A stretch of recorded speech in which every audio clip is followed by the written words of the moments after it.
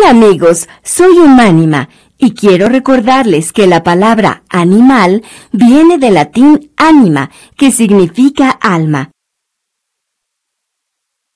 Ustedes pueden hacer que la vida de los animalitos no humanos sea mucho mejor. Por favor, cuídenlos siempre.